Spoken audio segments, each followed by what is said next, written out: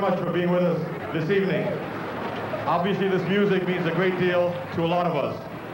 Some of us, as myself, were lucky early on to be dropped into New York City and dipped into this music. This weekend, we're honoring one of these great percussionists who made it possible for this music to continue. So, without further ado, would you welcome, along with his friends, Francisco Aguabella.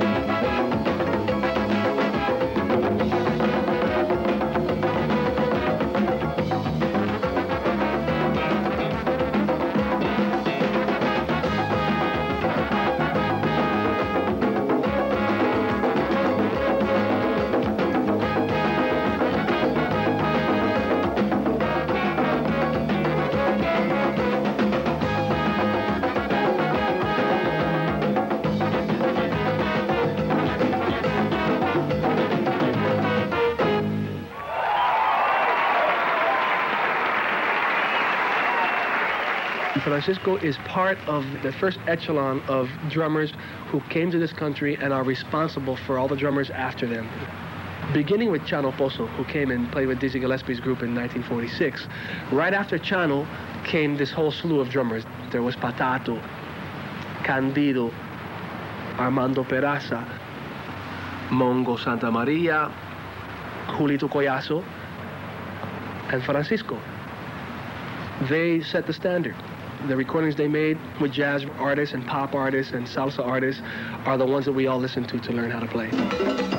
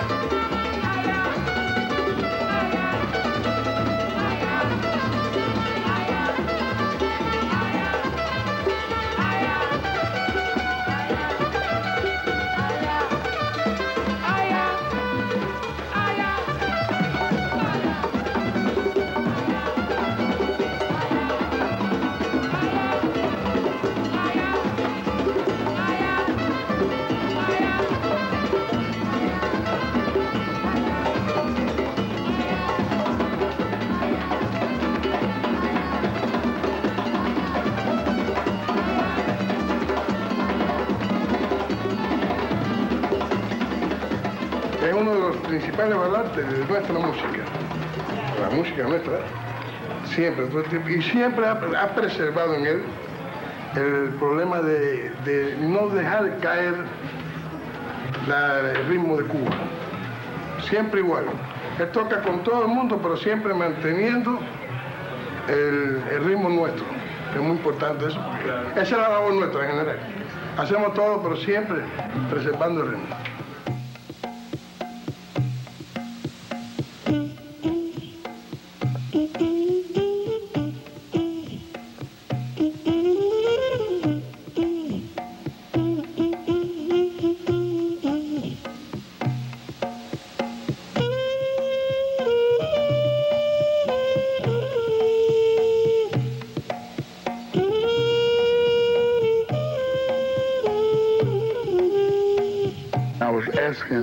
Mario Bauzá that I was going to make this record in California. Could I use out here? He said, Francisco, that's who you should use because the guy, you don't have to explain nothing to him because the, the guy knows. He, he grew up in this music.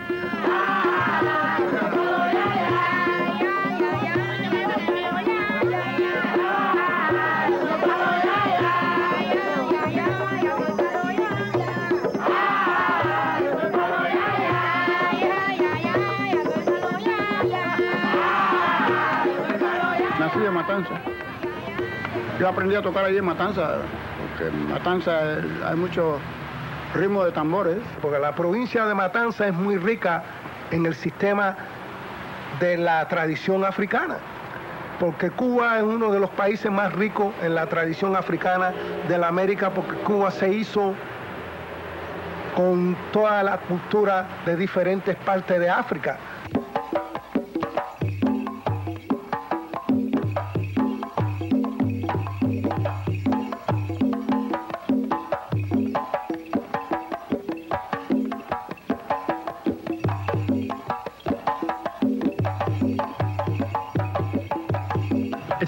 Be a talking drum, the bata, because the Nigerian language is a tonal language. The drum could imitate a sound that goes modupwe to say thank you, or, or to, it could be immolated, copied on the drum itself. With muffled tones and open and a variety of different pitches that are gotten out of the drum. The big drum controls the whole thing and calls and signals the changes.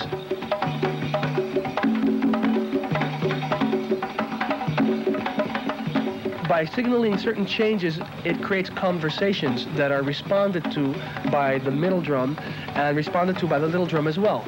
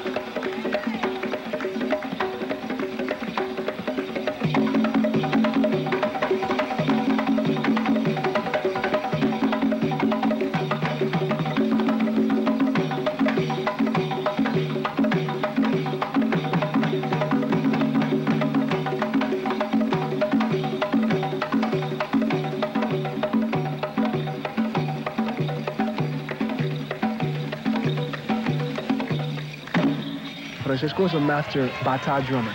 One of the very first masters to come and be established in the United States and to live here.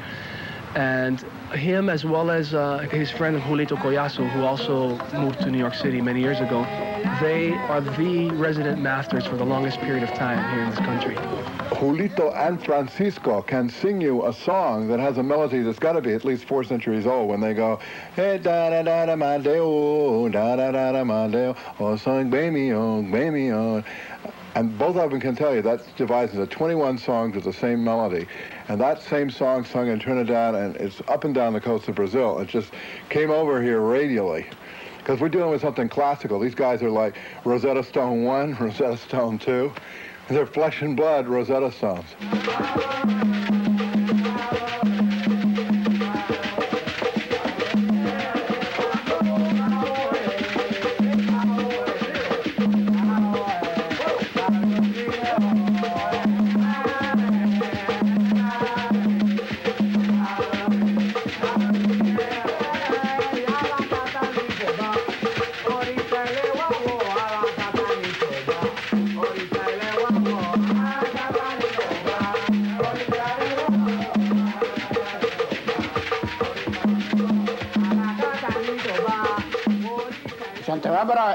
Mi patrón. Este día Santa Bárbara, eh, diciembre 3, con cualquiera que yo esté trabajando, yo no trabajo para nadie ese día. Ni viernes, ni sábado, ni cualquier día que caiga, yo no trabajo para nadie. Para nadie, porque ese día es Santa Bárbara. Yo quiero mucho esa santa. The Yoruba, when they came to Cuba, one of the first things they noticed about the strange white folk was that when lightning storms broke out, they would light a candle. And obviously, who are they lighting a candle for? Sooner or later, they were told, Santa Barbara, because she's the patron saint that protects you from lightning. Saint Barbara, when her day falls, that activates Shango.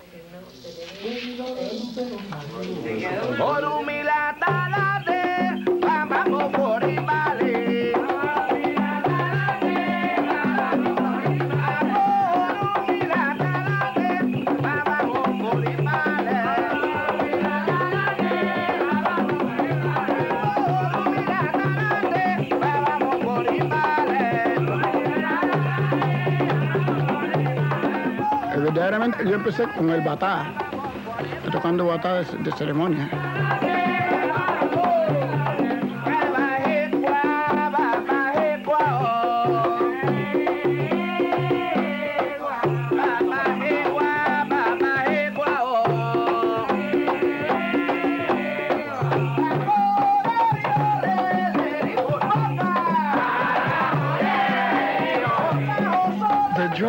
Important in the religious ceremonies because they provide the voice by which the practitioners communicate with the divinities.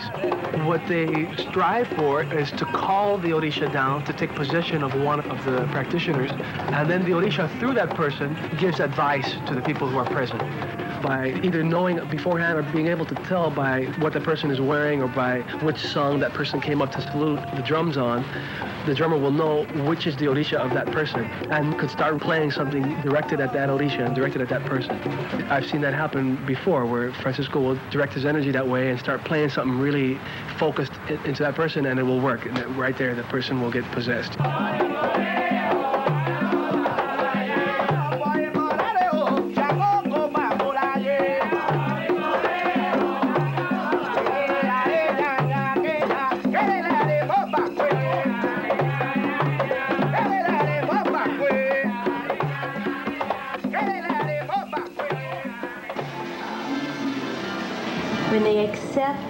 Priesthood and they go through their initiation, that the first part of it has a lot to do with the head, and so the head is shaved, completely bald, right? Completely.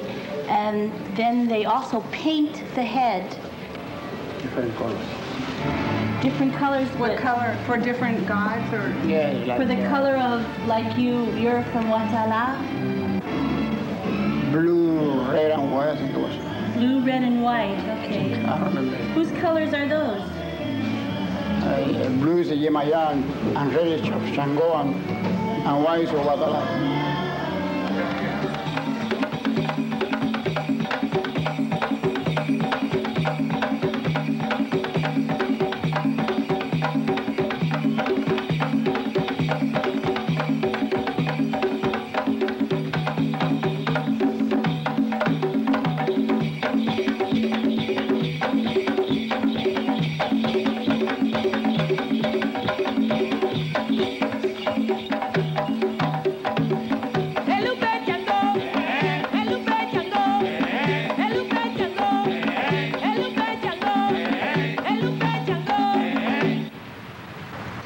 Different but related religions that come from the same area of Africa.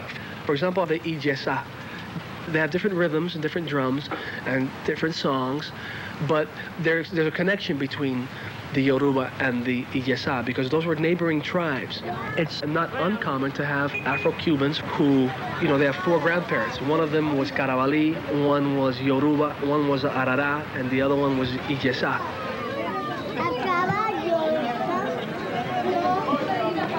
Mi abuela pertenecía a la rama de, de Yesá. Le daba, tenía hecho Santo Ogún y le daba el espíritu Ogún. Hay un canto que, que, con ese canto siempre traían el santo de mi abuela. Siempre lo canto que sí. Ala e a e ogu a e a e a e ogu a e ala e a e ogu a e ala e a e ogu a e.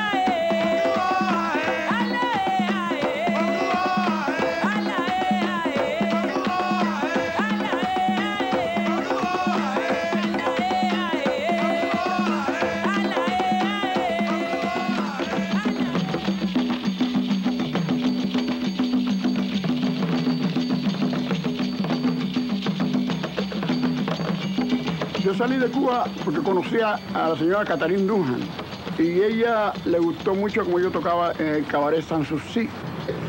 Le preguntó a la Irma Rodríguez, a la doctora, que si ella podía hablar conmigo respecto que iba a una película.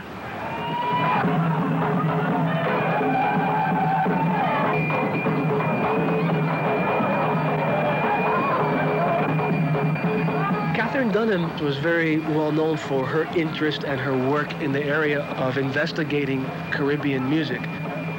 She investigated music from Haiti and from Jamaica and Trinidad and Brazil, and she would always immerse herself in it by going to those places and getting together with folklorists who were well-known drummers and dancers from those areas. So when she came to Cuba, she hooked up with Francisco and Julito, who were among the best. We had the whole company in the picture Mambo. Who was the girl that sang, remember? Xiomara Alfaro. Oh, Xiomara. See, Xiomara. and she, she one night, she got possessed. And I don't know, Santos. And we were filming in the studio, and they had to stop everything.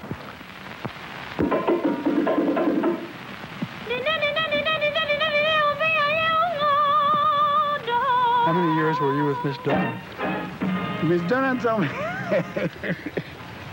Dunham said, Francisco, you're coming for three months Uh, for the movie, to look at the movie. And uh, the movie not finished in three months. The movie finished in about six months, take about. And I keep, uh, I want to go back to Cuba. I want to go back to Cuba and she said, uh, Francisco stays uh, more. one more month until when I find a drum. And I go, I say one more month. And they say, Francisco, I say, okay, it's one month now. I want to go back to Cuba. And they say, oh, Francisco, you stay another two months. Okay, I stay another two months. And, the- and the two months I said, well, I want to go back to Cuba. It's too, I can't find a good drummer like you. I said, it's another three months. And I said, then Australia. yeah, he went Mexico. stay and for four years at the company.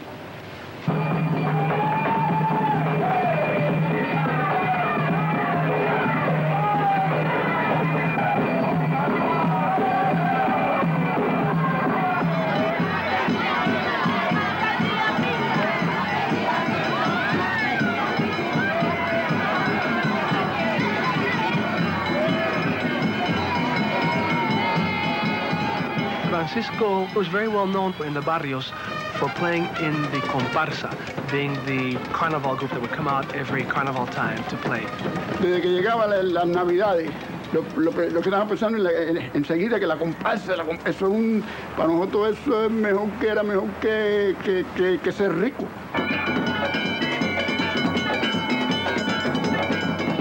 Yo me ponía el tambor aquí, el quinto aquí, en, en aquí en como dicen los americanos. Yo no soltaba ese quinto de las 8 de la, noche hasta las 4 de la mañana, o 4 y media que ya se terminaban todas las comparsas. Juramos que, ok, o vamos a jurar que no vamos a soltar el tambor hasta que no se termine el desfile, ok, estamos con el tambor, sigamos con el tambor, y, y sudando, y sudando, y las comparsas, tantas comparsas, como 18 comparsas, y va tocando, y va y parando, y sigue tocando, y sigue tocando, y sigue tocando hasta que llega ahí. A veces que se encuentra comparsas que son más fuertes que la suya, entonces tiene que reforzar su comparsa, por- porque si no, la que va adelante acaba con usted, y todo el mundo quiere ser, todo el mundo quiere ser, yo soy yo.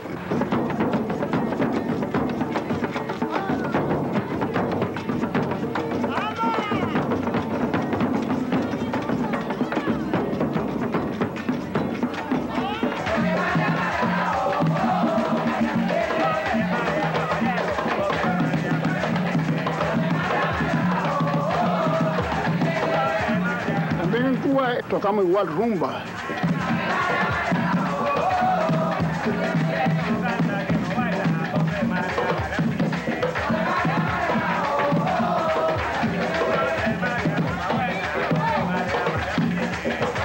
La rumba se toca en Cuba todos los días. Nosotros no tenemos día especial para tocar la rumba. Nosotros, la rumba es, eh, aquí ahora nosotros formamos una rumba aquí sin el tambor. Ya más quedando aquí, aquí o aquí o en la, en la pared. Entonces en Cuba no- nosotros la, la rumba es 24 horas al día. Es que nos encontramos en la esquina y, y vamos a tomar un trago en la esquina y vamos a tomar una cerveza y otro dice, bueno, ¿por qué no pongo una rumbita? Y entonces se le empieza a dar a la gente. Otro viene a la pared y otro agarra, la- la- agarra una botella de cerveza y, una- y un pedazo de, y la- a lo mejor la, tap- la tapita de la cerveza, botella, y el ca, ca, ca, ca, ca, y ahí se empezó la rumba.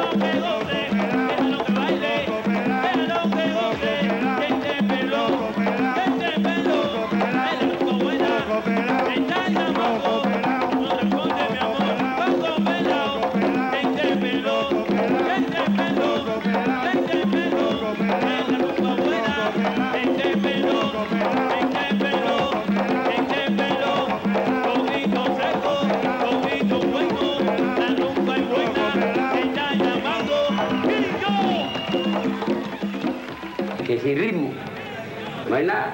No hay quien camine, no, no hay quien arranque a caminar como el primer play derecho porque se para a la vuelta del camino para empezar con el izquierdo. Nadie es. Usted habla acompasado. Este y este y este y este. Y cuando camina, camina acompasado. Y al suena acompasado. Sin ritmo no hay nada. Y sin música menos.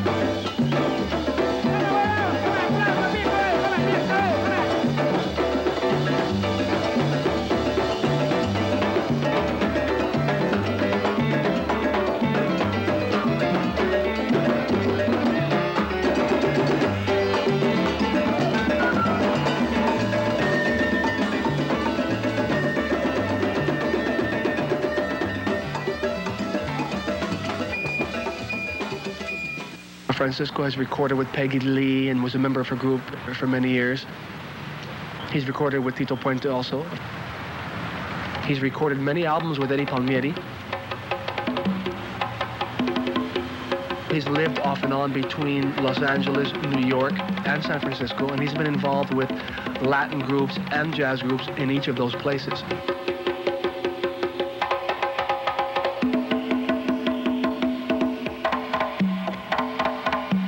Things that will never cease to amaze me is how he could play all night at Caesars, all weekend. He'd play Friday and Saturday night, play till 4 in the morning, then get in his car, drive to Los Angeles. He'd be arriving there about 10, 11 in the morning to play a ceremony that begins maybe at uh, 1 or 2 in the afternoon. That would last all day. Then he'd finally get a few hours sleep, but then had to get up early the next morning to start preparing the drums and get everything together for the next thing, because there's usually two in a row he would play. Without too much sleep, he would then play in the ceremony, and as the ceremony went on and got more intense, he would get stronger and stronger. He gets that life from the drum.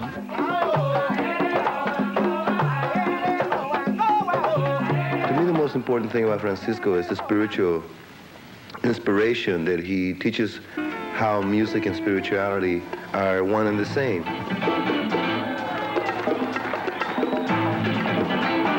Playing with him and Armando have always been an inspiration to me. Every time I see Armando and Francisco, both of them playing together, to this day, the walls start to sweat. You know, I'm not making it up. All of a sudden, the walls start sweating. So I know that they can also by virtue of how they play, they change the elements around them. I mean, they're, they're that powerful.